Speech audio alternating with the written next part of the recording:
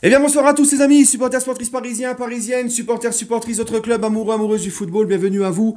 Les amis, bah écoutez, je suis très content de vous retrouver, très ému, très heureux parce qu'on va parler de Paoletta et on continue la série Mon PSG à moi. Alors pour ceux qui n'ont pas vu mes, épisodes précédents de Mon PSG à moi, le concept il est simple, c'est euh, c'est un... comment? C'est une série que j'ai fait euh, où je parle du PSG de mon enfance, de mon adolescence, euh, où je parle du, Je donne des anecdotes sur euh, tel joueur, telle arrivée, tel départ, telle saison, tel match. Hein, donc si vous n'avez pas vu les épisodes précédents, vous allez sur ma playlist dans ma chaîne YouTube, Mon PSG à moi, et vous verrez les épisodes précédents. Le dernier épisode que je vous avais laissé sur le dernier épisode, c'était Modeste Mbami, en hommage à son, à son décès. Voilà. Donc les amis, là, on passe à l'ère Paoletta. Et les gars, Paoletta, il est là. 100% PSG de 2005. Je remercie encore Chris, un abonné à moi qui me l'a envoyé. C'est un PSG, un 100% PSG de 2005. C'est l'ancienne revue du club. Et euh, c'est un spécial Paoletta. Et il me l'avait envoyé parce qu'il sait très bien, en bon abonné fidèle euh, de ma chaîne, que Paoletta, c'est mon joueur préféré de l'histoire du Paris Saint-Germain. C'est pour ça que là, je suis tout fou, tout ému de vous en parler. Je vais être comme un gamin, tu vois. Parce que oui, Paoletta, jusqu'à la fin de mes jours, ça restera mon joueur préféré de l'histoire du PSG. C'est celui qui m'a le plus marqué. Il arrive au PSG le 10 juillet 2003. Euh, j'ai 15 ans à l'époque, hein, donc euh, je suis encore un gamin. C'est, il représente le PSG de mon adolescence et tout ce qu'il a apporté au PSG, parce que Paoletta, c'est un joueur, les amis, euh, qui euh, finit meilleur buteur du Paris Saint-Germain avant l'RQSI, meilleur buteur de l'histoire du PSG, donc il marque le Paris Saint-Germain, il marque les supporters, par son, aussi par ça, mais aussi par son humilité, euh, son amour du club, son, son, son, son, son professionnalisme, son travail, voilà, c'est vraiment quelqu'un qui m'a marqué. Et puis l'ère Paoletta, c'est surtout l'époque où mon père euh, prend Canal Plus pour que je puisse voir plus de matchs du PSG. Donc c'est là où je vais voir quand même un peu plus ce PSG, donc je vais voir un peu plus notamment Paoletta. Ronaldinho, je suivais beaucoup les matchs à la radio, de temps en temps sur Canal chez des potes, comme je vous l'ai déjà dit dans les autres vidéos.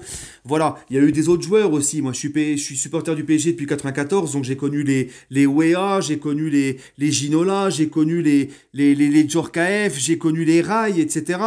Mais voilà, je regardais pas beaucoup les matchs, comme je vous l'ai dit à l'époque, j'étais encore très jeune, j'avais pas Canal, je regardais surtout les résultats dans Téléfoot ou dans le journal. Et puis il y a aussi eu les autres joueurs, les, les, les, les, les Suzic, les Daleb, les Rocheteau, euh, les, les, les, les, Luis Fernandez, tout ça, mais eux, je les ai pas vus. Donc tu vois, c'est pas pareil que Paoletta. Paoletta, c'est vraiment, voilà. Et les amis, Paoletta, faut savoir quand il arrive au PSG, c'est la saison qui suit le départ de Ronaldinho. Donc nous, supporters du PSG, on était déjà très attachés à Ronaldinho et très affectés par son départ.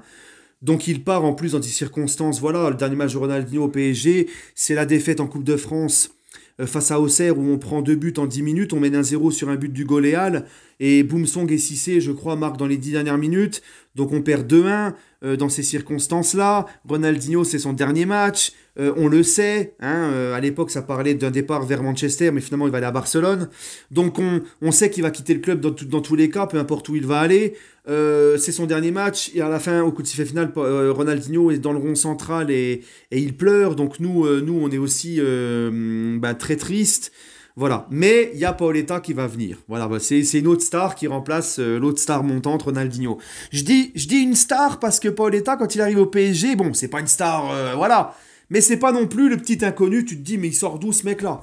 Paoletta, les gars, c'est quelqu'un de très connu déjà. Très connu en Espagne parce qu'il a joué euh, à Estoril dans D2 espagnol. Ensuite, il a joué à la Corogne où il a marqué pas mal de buts en, en D1 espagnol. Ensuite, il va euh, il va à Bordeaux où il joue trois saisons. Il finit deux fois meilleur joueur de Ligue 1 avec Bordeaux. Il finit deux fois meilleur buteur de Bordeaux. Il finit deuxième meilleur buteur avec 22 buts. Sa deuxième saison à Bordeaux derrière Djibril Cissé, 24 buts. Il finit meilleur buteur. Euh, il finit euh, avec 23 buts, un but de plus là, sa dernière année à Bordeaux. Mais là, j'ai un doute s'il finit meilleur buteur ou pas.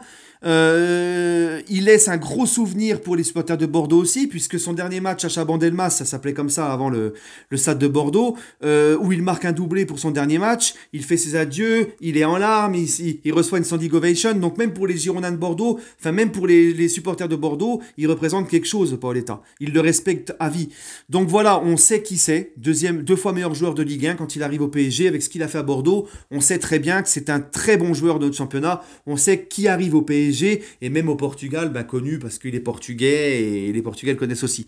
Donc il est connu en Espagne, il est connu en France, il est connu au Portugal et peut-être même sûrement ailleurs. Donc voilà. Donc moi, quand il arrive, Paoletta, faut savoir qu'à l'époque, à l'époque, comme je vous l'ai souvent dit, euh, il n'y a pas de, il n'y a pas de, de c'est pas le, comment, pour les informations sur le, sur le mercato, ça n'a rien à voir avec euh, maintenant. Il n'y a pas les réseaux sociaux, il n'y a pas Internet comme maintenant, il n'y a pas 40 000 rumeurs par jour avec des fake news et tout.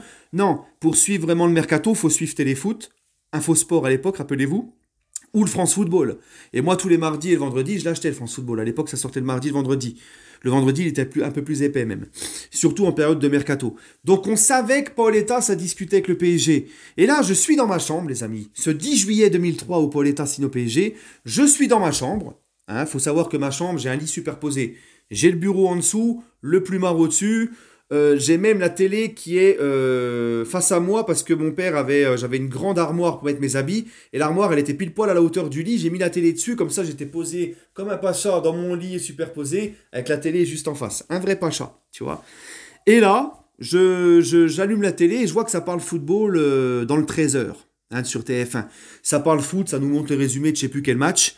Et là les gars, tout de suite, alors je sais plus si c'est PPDA ou Jean-Pierre Pernaud qui enchaîne en disant euh, maintenant on va on parle PSG mercato le PSG a officialisé l'arrivée de Pauletta et là moi je suis comme un dingue. Là moi je suis comme un dingue c'est comme je vous le dis on connaît on sait c'est qui ce joueur là et tout. Moi je suis comme un ouf. Donc je saute du, de mon plumard je monte au bureau de tabac juste à côté de la boulangerie de mon père et j'achète le journal de l'équipe où on voit la photo de Pauletta avec son maillot du PSG, hein, avec Ali Lodzik à ses côtés, parce qu'il faut savoir que la première saison de Pauletta, c'est les grands changements au PSG.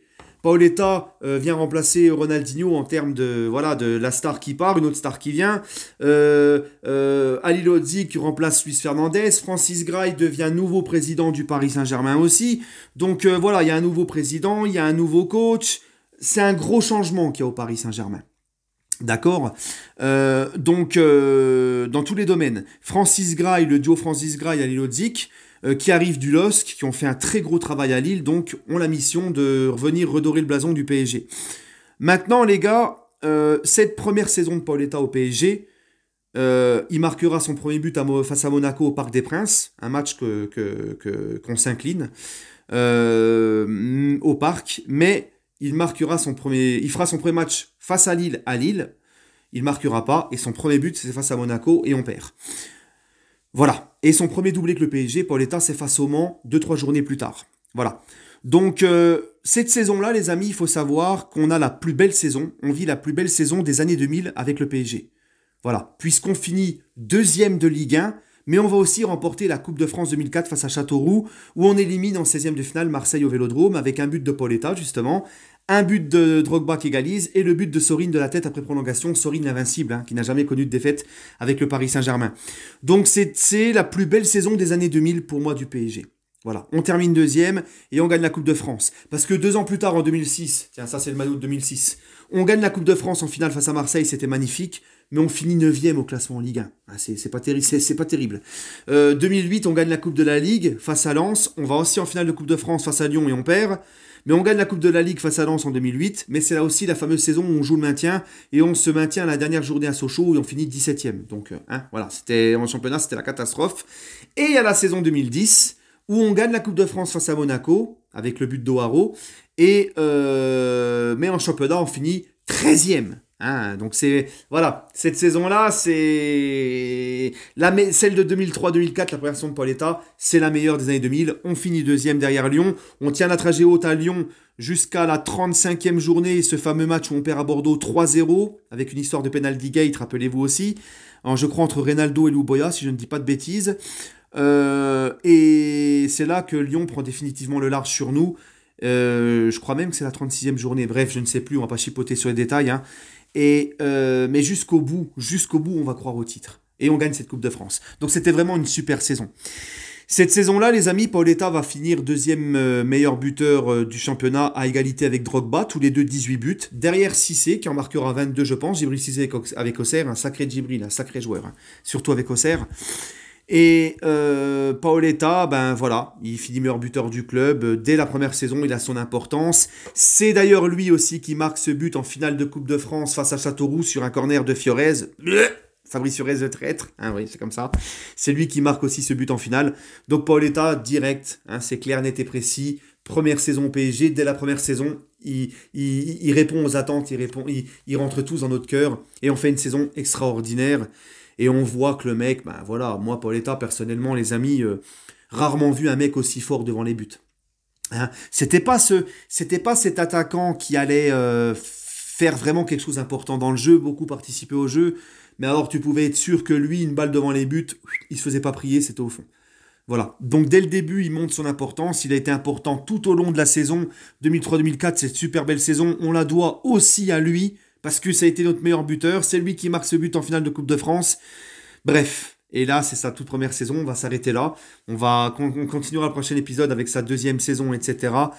Bref, Paoletta, pour vous dire à quel point, une dernière petite anecdote, pour vous dire à quel point moi j'étais attaché à Paoletta, c'est que quand je marquais un but en club, que ça soit en club, que ça soit avec les copains entre nous, euh, quand on faisait des foot entre nous comme ça, euh, ou quand c'était au CFA, au centre de formation pour apprentis, euh, où je faisais mon pré-apprentissage boulangerie à 15 ans quand il est arrivé, euh, que ça soit en sport et on faisait du foot là-bas aussi, que ça soit dans n'importe quelle circonstance, en club ou avec les copains ou au CFA, dès que je marquais, je faisais l'aigle des Açores. Et d'ailleurs, mon ancien entraîneur, hein, GG, GG qui est le père d'un ami d'enfance à moi qui est pour le PSG. Bon, GG lui il est pour Marseille, hein, voilà, c'est. Eh ben GG il m'appelait Paoletta. C'était mon coach et il m'appelait Paoletta. Voilà. C'était non, je je vous dis Paoletta et moi c'est bref. Mais mais attention les amis. J'aurais eu euh, euh, j'aurais eu ma chaîne YouTube à l'époque, il y aurait eu YouTube et tout, j'aurais eu ma chaîne YouTube. Euh, il aurait fallu le critiquer s'il fait un mauvais match, je l'aurais dit. Hein. Ah, je suis pas une, je suis, je, je l'aime, mais je suis pas non plus la groupie aveugle qui ne veut jamais critiquer. Non, non, non, non.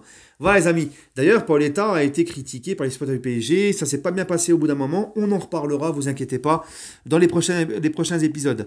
Prenez soin de vous les amis. Et toujours et encore, allez Paris. Et j'espère que cette vidéo vous a plu les amis.